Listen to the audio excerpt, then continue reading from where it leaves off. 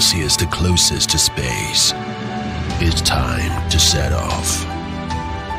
Our achievements are stacked on top of each other. This is epic, right? I mean, the, the, media package had a video that sounded like it was narrated by Optimus Prime. But all jokes aside, we are taking a look at an Agelocer watch. We've seen one before. Uh, we're going to talk about that in a moment. But you can tell Agelocer is very excited about their newest release, the Agelocer Space Station. But here's the question. Does that mean we should be excited about this watch? Well, we're going to find out today. Let's take a look. It is 4.25 p.m. Let's get down to business.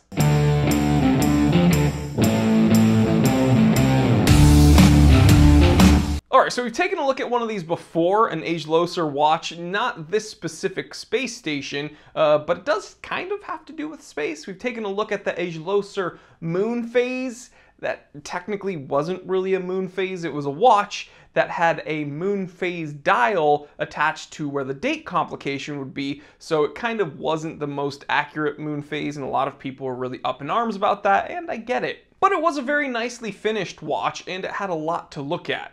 But let's fast forward to today. What is this new offering, the Agelocer Space Station? Well, it's very, very interesting. It looks almost like a regulator watch with its single hand.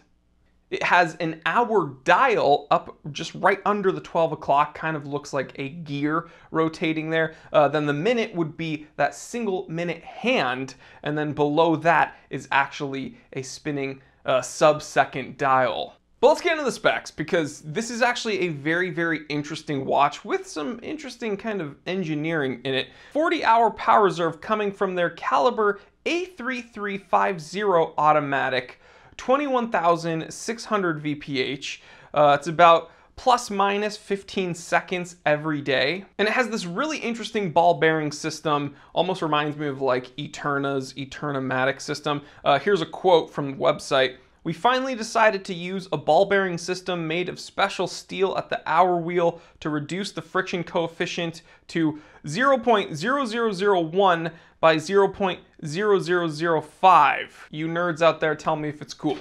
Case is made of 316L stainless steel, very standard. 42 millimeter case diameter by 48.8 millimeter lug to lug. Uh, kind of a long boy here. Uh, 12.2 millimeters thick, sapphire crystal, and a 50 meter water resistance rating. Now the specs are interesting, and the watch clearly has a very unique design. There are some things I really like about it, and there are some things that they definitely need to work on, so let's go ahead and look at the pros and cons. Pros, number one, the finishing. Really, really nice, actually. I'm really loving that kind of beveled edge on the bezel, uh, how the crystal just kind of goes into this very nicely uh, brushed look, super duper sharp. And we're taking a look at this colorway specifically, that deep blue and white is just a very nice combination, very pleasing to my eyes. And here's something I didn't think I would like initially, but in person, I really do like it. The deep set date window, again, with that kind of uh, louvered cut, it's it's very interesting and it looks really cool. I thought that that deep set look would kind of make it look cheap, but I dig it. And when we flip the watch over, another pro would be that there is some nice decoration with that movement. Nothing crazy over the top longa detailing, but still very clean, very nice, pleasant to look at. But with the good comes the bad, so let's get into the cons. First con, the lume looks nice, like it's a nice hue of, of lume, uh, but it's dim. The next con would be that the crown is very tight and it's uh, not easy to get a distinguishable uh, crown setting. So, you know, here's one setting for the date, here's one setting for the time. You're gonna miss it probably. It takes me at least three different tries to get to the crown setting I want. So that's that's an issue for sure. And then the final con, which I think is actually the biggest one, I'm gonna show you here. I'm gonna be holding onto the buckle and the other side of the strap and the case, okay? So nothing feasibly should be moving. And then this thumb is actually going to be covering the crown. Okay, so nothing in here should really be moving except the rotor. But listen to this. I'm gonna put it up to my mic. I'm moving it up and down. So not, not rotating the rotor here. I'm just moving it up and down. that movement isn't retained well into the case. Now, mind you, this is a prototype. I don't know how many other reviewers have seen this watch, but that's, I don't like that. So here's my conclusion. This Agelocer is a micro brand attempting to kind of be out there. Now, not that out there, like we're not talking Nove area. Uh, this is a bit more refined, but definitely unique and not perfect by any means. But the specs are good, the finishing is good.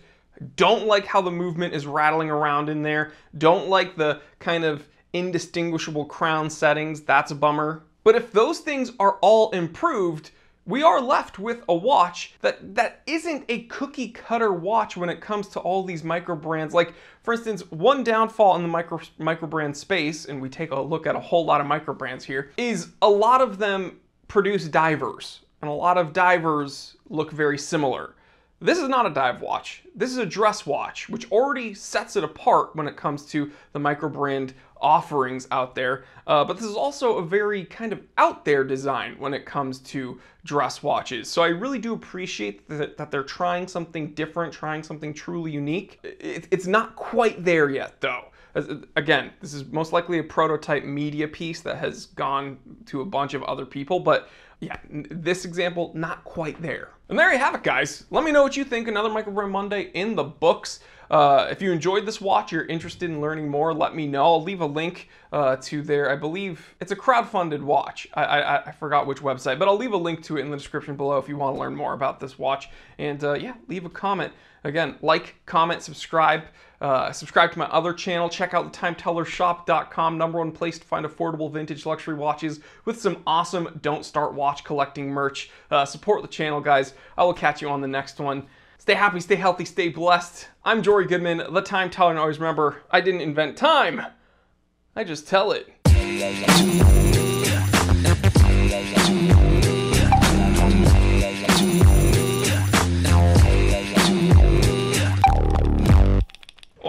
Well, that kind of looked. It's gonna get me demonetized, actually.